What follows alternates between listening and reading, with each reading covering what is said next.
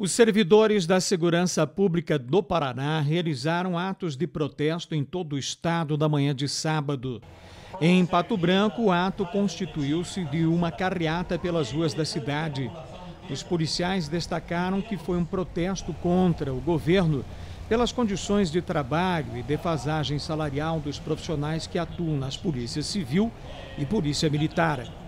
Os servidores reivindicam o pagamento imediato da reposição da inflação dos últimos anos, que não aconteceu. Inclusive a carga horária, que daí foi é, negociada com o Comando Geral, dia 26, ele está vendo o que pode fazer. E o objetivo principal é a reestruturação da nossa tabela salarial. Para ter uma ideia, nós, nós estamos sem aumento há 10 anos. E há seis anos sem qualquer reajuste. Inclusive teve uma perda de 11% devido à reforma da Previdência. Então, além de não, não ter nada, ainda foi reduzido nosso salário. Né? Está reduzido, ao, ao, contrário de subir né, pela inflação. Então as coisas dobraram esses 10 anos.